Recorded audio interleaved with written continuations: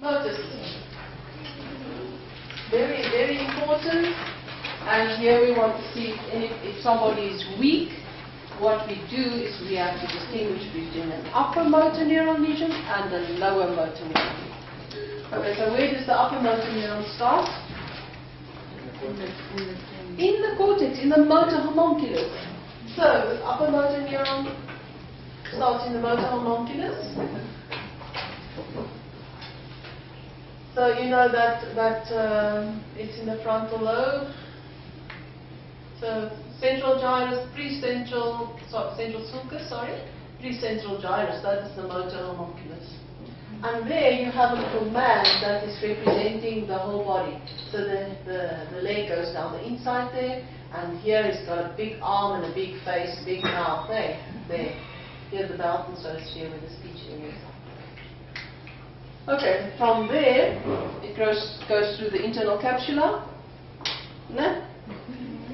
And then the midbrain goes through the crus, the Mickey Mouse ears of the midbrain.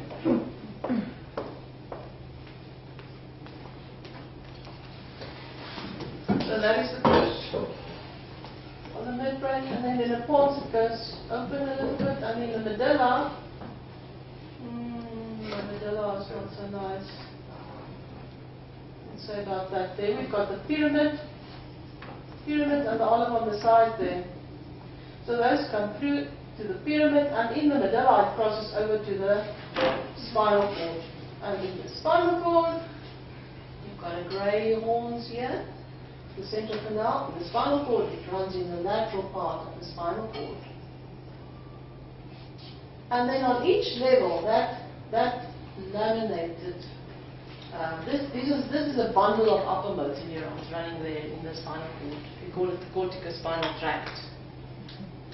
And then from there it goes to the anterior horn cell, which is the beginning of the lower motor neuron. That's where the lower motor neuron starts, and then it goes out. So, uh, the sensory, uh, no, let me just finish the motor first. Sensory goes that way, it comes in. The motor ones comes from the top, stays on the same side, same side, crosses over, and then it runs in a in the in the spinal tract, and from there it goes to its anterior cell and it goes out. And here it forms the ventral ventral rami, and it forms in the cervical part, it forms the brachial plexus, and in the lumbar part it forms the lumbar plexus, and then the peripheral nerves. Okay. So if one has an upper motor neuron lesion, the problem is from here till in the spinal cord. The lower motor neurons from the anterior cell outwards. The lower motor neuron is anterior cell disease. The peripheral nerve, or, or the roots, the peripheral nerve, the neuromuscular junction, and the muscle. That gives you lower motor neuron signs. So, there's patterns of distribution of upper motor neuron lesions and lower motor neuron lesions. And you will get there if you examine the patient from the top to the bottom. Right, we go there now. Upper motor neuron lesions, when we examine a patient, we look at uh, the muscle bulk. So we check for atrophy. Okay? Upper motor neuron, no, it's on they get atrophy. Lower motor neuron has got a lot of atrophy and quite quickly. Then we do the toe. Down in the upper motor neuron lesion is? Show me so or so. High. The tone in the upper motor neuron is high. And the tone with the lower motor neuron lesion is normal or low. Then we do the flower. Okay. What is the distribution of power loss in upper motor neuron lesion? And this, this, is the most common thing is when somebody's got a stroke or a tumor. What is the, what, how, how does the power differ? If you have a lesion on the one side of your brain, you have a hemiplegia. Hey? So the power loss in somebody with a lesion on this side in the cortex will be a hemiplegia. So half. The power loss with somebody with a paraplegia, cut off the corticospinal tracts on a level in the spinal cord, and it's on T10, the patient have, will have paraplegia. Half. Upper motor neuron lesions. Um, and then we do the reflexes. The reflexes with upper motor neuron is, hello, wake up, I, and the plantar response. And the plantar response. Now, if we do the plantar response, we look at the big toe and the other few little toes. So, and we go from the lateral side slowly and firmly upwards. And what happens if we have an abnormal plantar response? Normal plantar response is flexion. And an abnormal plantar response is an extensor plantar response, which means the big toe goes up, the other toes spread, and the knee and the hip flexes. That's part of the reflex, the, hip, the, knee and the hip flexes. So if somebody's got paraplegia, and they you've tried to examine them and they say, oh, but I can't move my legs at all. Now you do the Babinski and here the patient pulls his leg away. It's part of the Babinski reflex. It's not that the patient is faking his symptoms. Okay. Right. With lower motor neuron, the tone is low. The power has a distribution. If we look from horn cell, the commonest problem of an horn cell disease is motor neuron disease, and they have a mixture of upper motor neuron and lower motor neuron sites, so we're not going to go there now.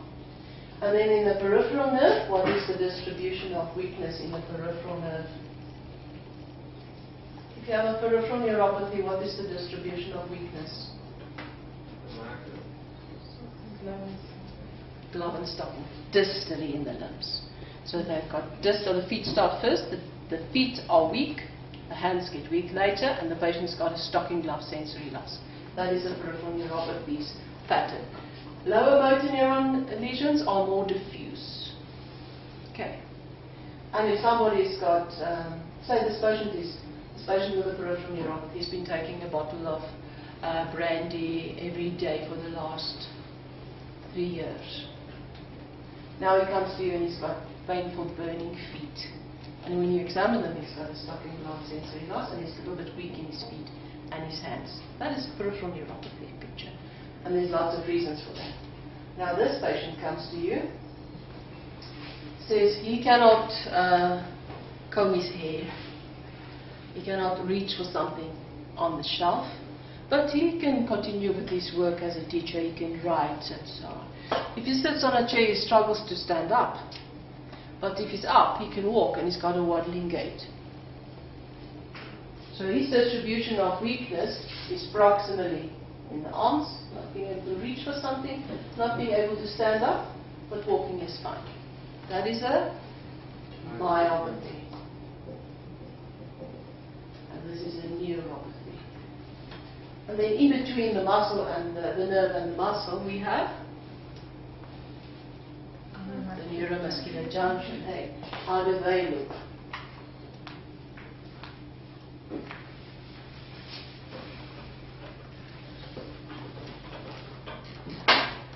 neuromuscular junction problems, the prototype. There is my myasthenia gravis. Mm-hmm. Okay. Are you awake still? Mm-hmm. right. So, myasthenia gravis, they have eye signs. Okay. So they get tired through the day and they get ptosis through the day and they get double vision through the day. And they can get facial weakness and they can get swallowing weakness, the neuromuscular junction problem. If you examine them and you do the neck flexion and you do it again and again and again, they will fatigue. If you do the deltoid power and you do it again and again and again, they will fatigue. That's what you'll need to de demonstrate. And sometimes if it's long-standing, they also have proximal weakness. But they always, 90% of them have eye signs. Okay, or in the history or in the acute. Okay, so that is lower motor neuron. They've got low tone, they've got atrophy very quickly, the neuropathy specifically. And um, the distribution of weakness is either proximal or distal, or they fatigue, and then the reflexes. With the neuropathy, they have no reflexes. Myopathy's reflexes are very usually normal unless it's very long standing, then the reflexes also go away.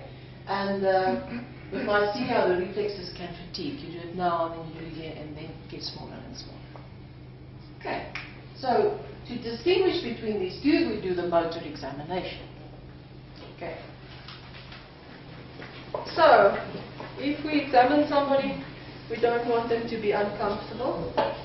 You don't expose the patient uh, ever to other people. You examine them, that's fine. But cover as much as you can while you do that. Okay. You're supposed to expose a patient or to undress a patient when you examine them.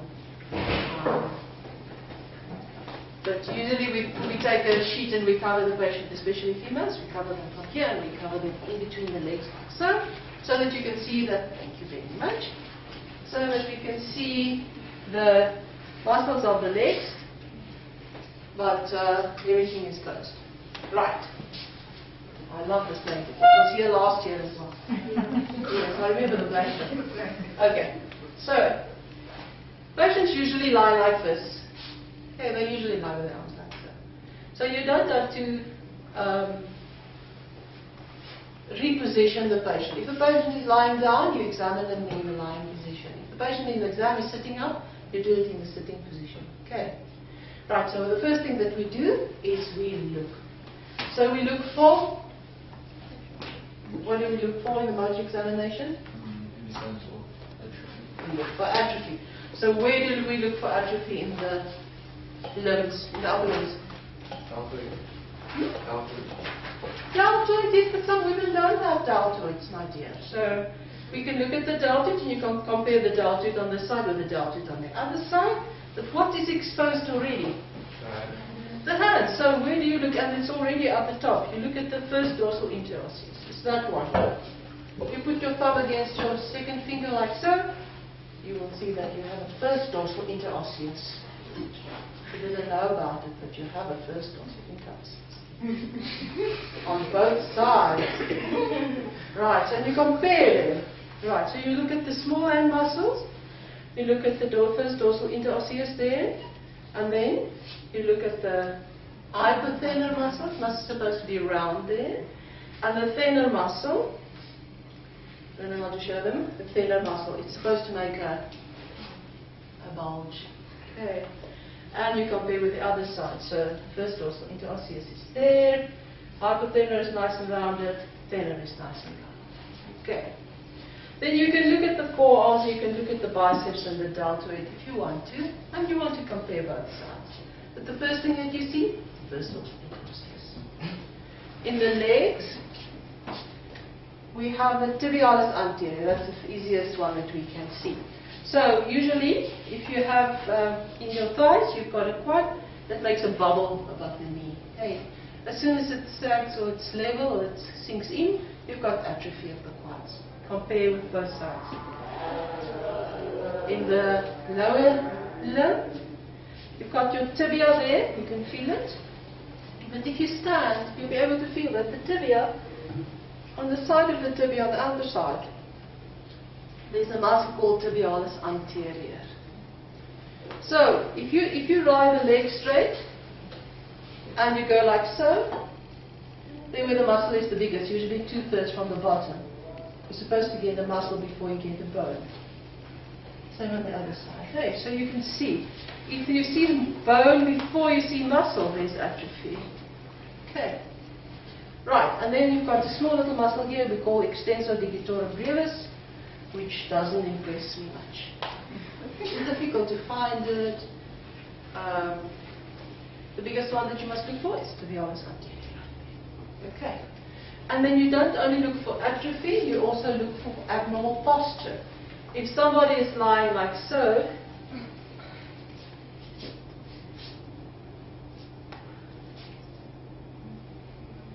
it's an abnormal posture, you must note it. Okay. Or if somebody is moving his arms but he's not moving his legs at all, and he's got a catheter in, and a nasogastric tube, and a drip, you must note those things. Okay. The guy that presented yesterday noted them very nicely. All the things that was, all the devices that we attached to patients.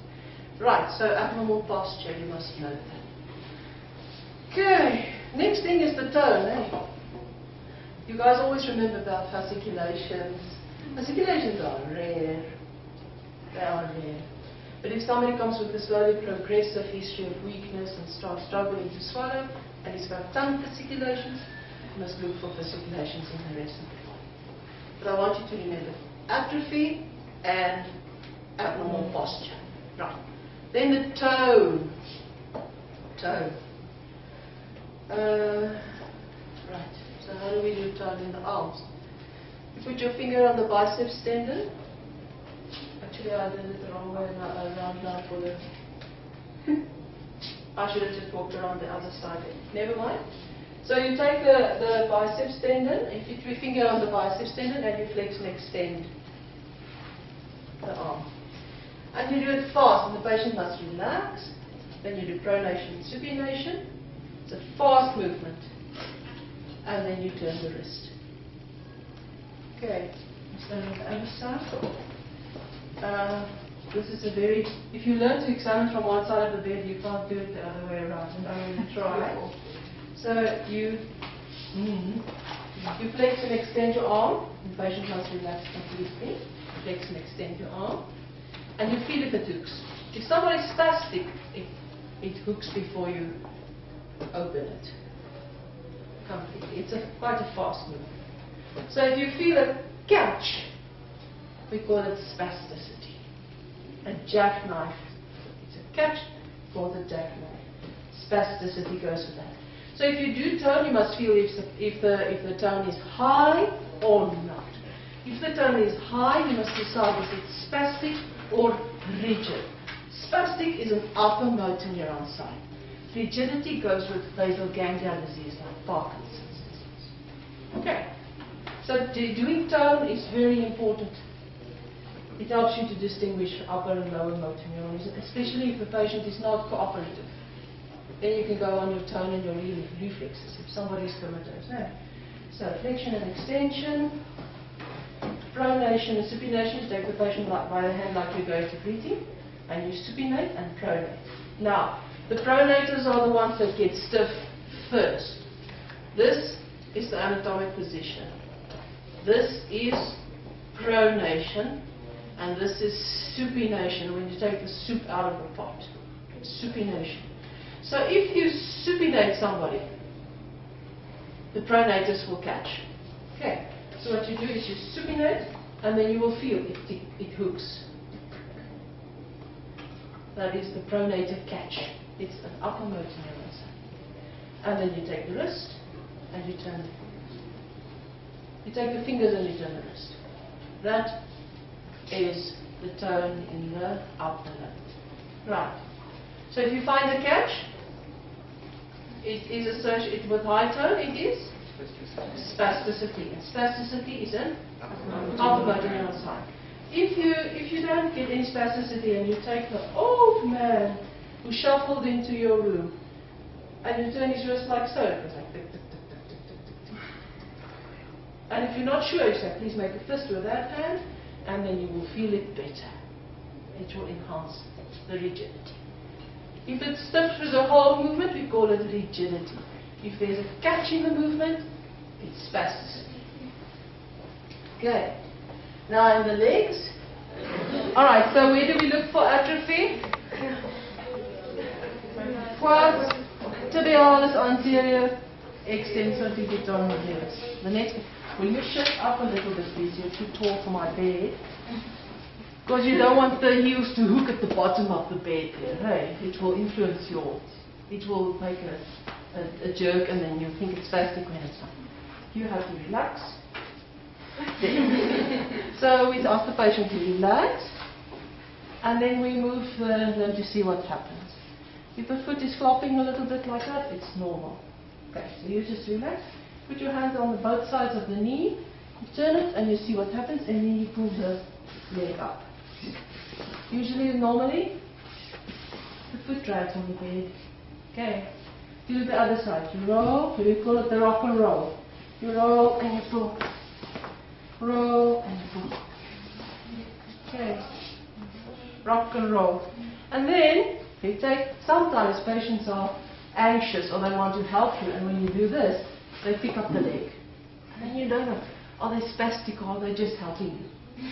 Then you take the, the ankle by the one hand and, and you put your other hand under the knee and you flex the leg and you move it in different directions so that the patient doesn't know where you're going. and you compare it with the other side. See? Because you don't want the patient to tell the patient he's spastic when he's actually got normal tone or he's just nervous. That is tone. So you get two marks for that on your tick sheet. First the roll and the pull. The next thing is taking the ankle and moving it in different directions. That is tone. And we do this to distinguish upper motor neuron from lower motor neuron sites. Okay, very important. Don't skip it, right? Don't stick to your system. First you look, then you feel the tone, then you do the power. If you don't do it that way, you jump around. And then you waste your time. You've only got five minutes in the fourth year. Right. So now if you've rolled and pulled, just relax your leg. If you rolled and pulled, and you've taken the ankle and you've bent the leg, you put the ankle down and you do clonus. So, for the first thing is, the first thing is the knee must be bent. Okay? The second thing is the ankle rests on the, uh, the heel. The heel rests on the bed. And then you take the foot and you lift it off the bed. And then you see if somebody's got clonus. If somebody's got clonus, it goes like so. Okay. So you relax, you put it up, keep it there. And you can do it a few times because sometimes if you just change the ankle, the angle of the knee, you can get clonus. Obviously, we don't expect it in a healthy volunteer. okay. But do the clonus right after you've done tone, otherwise you're going to forget. Right. So, we've looked at abnormal posture and atrophy. We've done the turn in the arms, flexion and extension, pronation and supination, and we've turned the wrist. In the legs, we've done the rock and roll, we've taken the foot, we've moved the leg. We don't do tone in the ankle. It's a stiff joint. Okay, we don't do tone in the ankle. And then we do clonus after we just put that ankle down while we've still got the hand under the under the knee and we check for clonus. Next is power. You guys have to practice this. If you demonstrate it, it looks easy. But if you don't practice it at home on somebody else, you're going to forget. Okay, right. So with the motor examination, we always test the muscle in action. Right. Test the muscle in action. And we test one joint at a time. So I want to see if you examine the patient that you are testing the muscle in action and you're testing only one joint. So if I say, and then we grade power, right, while we do that, the power. Power is from 0, which is nothing, to 5, which is normal. One, two, three, four, five. Where do we start to grade power? We start in the middle. We ask against gravity. Against gravity only. Hey, this is against gravity and against resistance but it's not normal. This is normal. If a patient can lift not lift against gravity, you test the joint with gravity excluded. And one, there's a flicker of movement, but it doesn't move the joint. Okay. So, uh, uh, how do we grade power? From zero to 5, it's an Oxford scale. So 5 is normal power just like yours. 0 is nothing. We start in the middle with 3. So we ask, can you lift up your hands like so? And then we already know that the patient had a hemiplegia or not. Okay?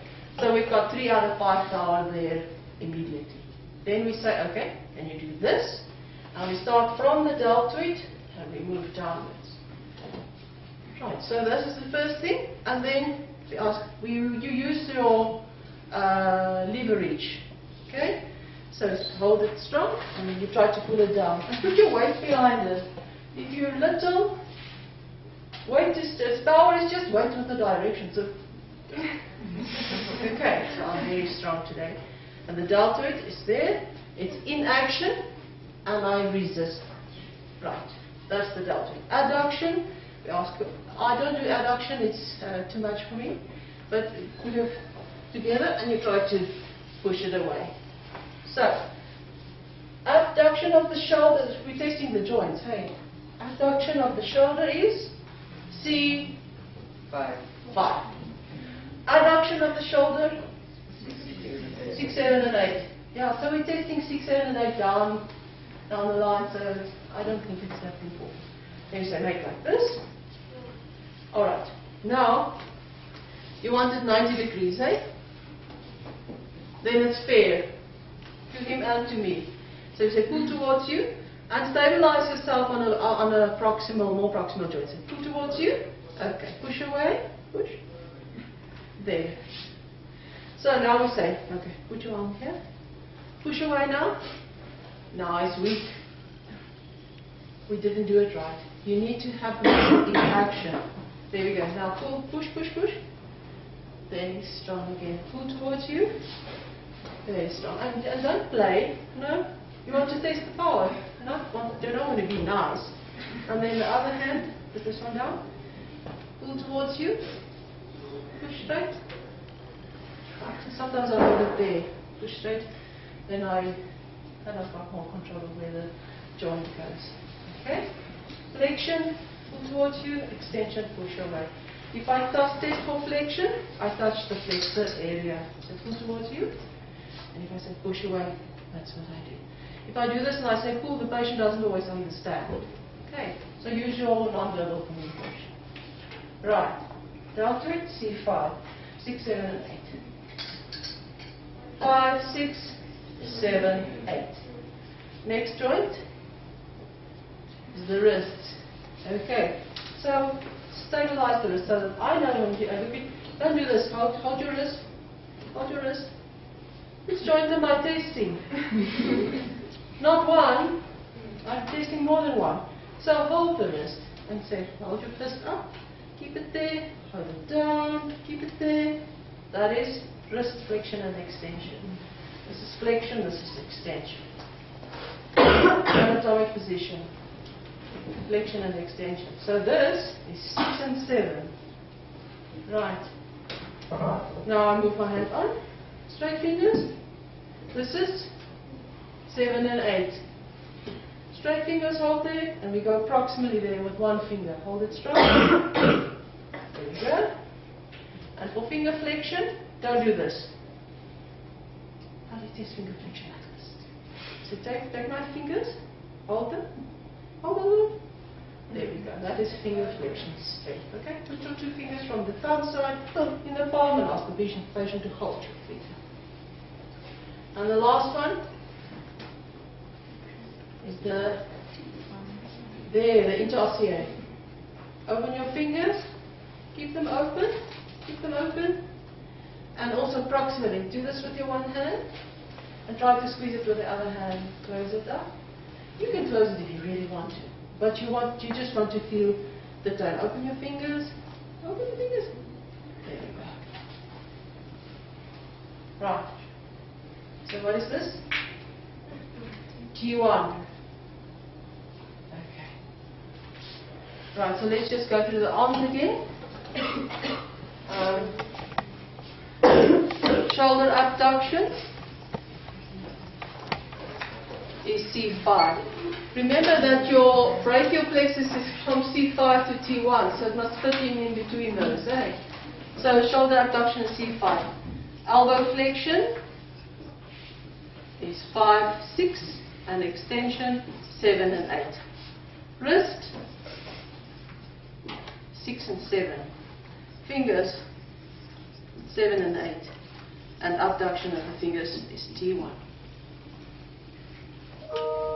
The next we start with L2, because we've got two legs. And for the hip, for the hip, we go like this. We've got uh, uh, the hip, like a hip here. Oh, where's the hip? There's the hip. And we've got the knee. And we've got the ankle. Okay. So for the hip, hip flexion and extension, we start with L2. And we've got four digits for the hip. For the knee, L3, 4, 5, and there's 1. And for the ankle, L4, 5, there's 1, there's 2. That is easier to remember, okay? So for the hip, we start with L2. For the knee, we start with L3. For the ankle, we start with L4. And we just go on. Up. 2, 3, 4, 5. This one is 2. And the forward movement is the first two digits. Right. So you ask the patient, muscle in action. If we do this, lift up your leg, I'm stronger than he is. Can't do this, lift up your leg. Say, lift up your leg, muscle must be in action. And if we do this, we're not just testing one joint at a time. Okay, so lift up your leg, keep it up there, hold it strong, testing only hip flexion. Right, down, other side, lift it up, hold it there, hip flexion. That is L2, 3. Right. Now if we say L 4, 5 is for hip extension. Hey, so we ask the patient, keep your leg on the bed, don't let me lift it up. Okay, so this little space under your ankle there is just for your fingers to put your fingers in there. And you say, keep your leg on the bed, and you try to lift it. Okay, so this is hip extension. Two, three, four, five. Right. And usually if the patient does his best, you lift the leg, other leg up as well. So that's the sign that we try to do. That he's got normal power and he did his best. You can just get my hand under here. Okay, down again. Oh, hold, hold it strong on the bed. And there you go. That is hip So now I told you to only test one joint at a time. How can I then do the ankle there? Because it gives me more leverage and the knee cannot move backwards. That's why I'm using that space under the ankle. Okay. Inflection, hip extension. One joint at a time in action. Now for the knee, you can't test power over the knee unless you bend the knee. Okay, so you bend the knee first, and you support the knee at the bottom, and you say, can you lift up your foot? Lift up your foot. Okay, pull towards you, pull towards you. There we go. Is out. Three, four. It's the forward, first two digits is the forward movement. Hey, push straight again. Three, four, pull towards you. Five, this one. Same on the other side. Bend your knee. Pull towards you. Push straight. Right. I usually do flexion first because it's easier for me. You can do it any way you like as long as you practice and you know what you're doing. Lift up the toes. Up toes. So, ankle in action, right? Joint must be in action. Keep lift it up, hold it up. Hold it up. Step down. Step down. See, I support the proximal area. now just say step down. What joint are you testing? And I'll ask you that in the exam. If I say what joint are you testing, you must know something is wrong. okay, so one joint at a time, muscle in action. So what I did the same with the elbow flexion. So see pull towards you, I touch the flexor area. Push away, I touch the extensor area. And if somebody's very strong, you sort of have to put your shoulder behind it. Okay, and now we must still do the reflexes. Shameless hammer. Has motivated days. The hammer is really. What about this one? Okay, it's also kind of look. It's a little bit big. It's better. Okay. So if we do the reflexes, are you still awake? Everybody that was sleeping must stand up quickly. Guys, please wake up the person next to you if you see them suddenly going off. Let's go. It's a kind thing, please. We need some more coke. Hmm. Right. Everybody wake. You know, if you, you don't know when you're sleeping, you know. All right. So the reflexes. The last thing that we do with the motor exam. So you, the patient is lying like this. Don't fiddle with the arms. Just put your thumb on the biceps tendon or your finger, your pointing finger, and you hit on your finger. So the smaller the rubber is, the softer it is on your finger. And usually you stay on the same side, that I want to stretch overhead now. We, right. So what you usually do, you don't run around the bed usually, okay? Stay on the same side, the bed is usually against the wall. So you do reflexes to this side, and you do on the other side. That is C5. Now, brachioradialis is C6. Right, so where's the brachioradial reflex? It's on the thumb side, on the radius, 5 centimeters above the wrist, on the radius. This guy doesn't have reflexes. It's normal not to have reflexes. Okay, some people don't have reflexes. And then it's the first time that you mobilize the arms. You pull the arm over the patient's body so that he can relax. You can't, cannot do reflexes in an active arm. The patient must be relaxed. Okay. So you pull it over the patient so that you can see the olecranon process and about the thumb above the olecranon process. You do the reflex. Same on the other side. Reflex.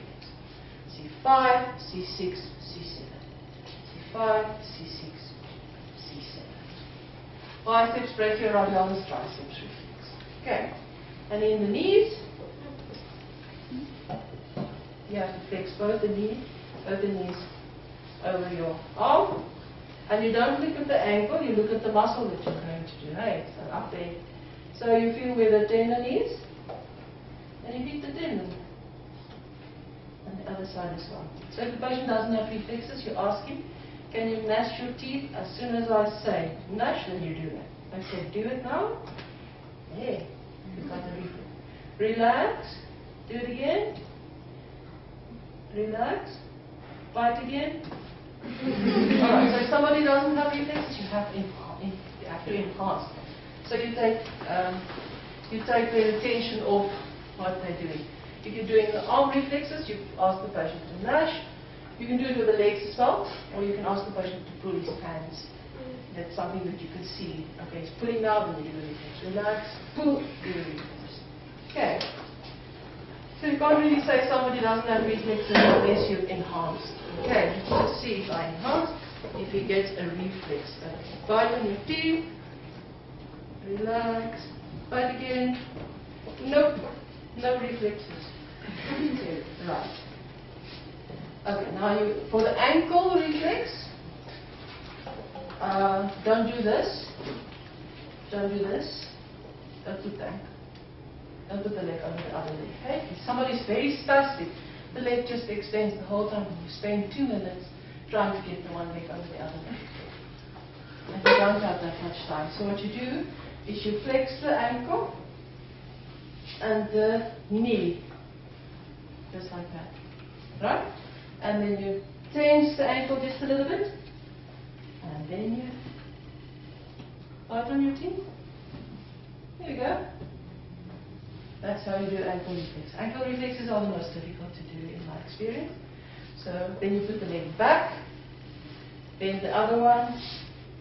Patient must just relax. You just don't don't overextend the ankle because then you the reflex. Okay? So you just stretch the ankle a little bit. 90 degrees is fine.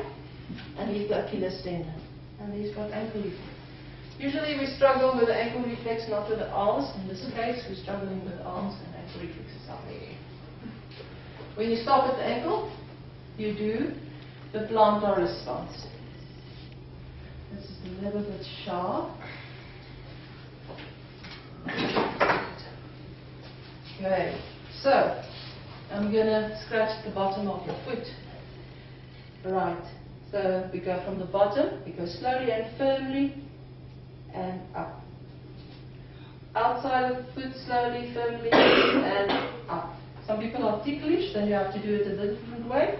And you go behind the lateral malleolus, and the, the, the reaction is the same. If it's uh, abnormal, the big will extend, other toes will spread, and the patient will flex.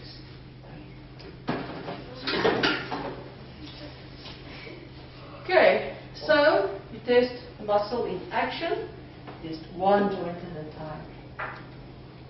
Touch the flexion, flexors, if you, flexion aspect if you want the patient to flex. Touch the, touch the extension aspect if you want the patient to extend. Reflexes C5, C6, C7. We can't get them enhanced. L3 to the knee, S1 is the ankle reflex. Right. Um, if you examine the patient from the top to the bottom, joint for joint, that you will be able to get to these patterns of halves, halves, proximal or distal distribution of weakness, and you will be able to make an anatomic diagnosis. Hey. Right. I will just uh, include that there's something missing between T1 and L2. What is that? What can we test between T1 and L2? So if the patient is weak in his legs, you want to see what the highest level is. If the arms are fine and the legs are weak, you must ask the patient to cross over his arms and try to sit up. And then you look at what happens to the navel. If somebody's got a T10 level, if somebody's got a T10 level, T10 level is about the navel, the navel height.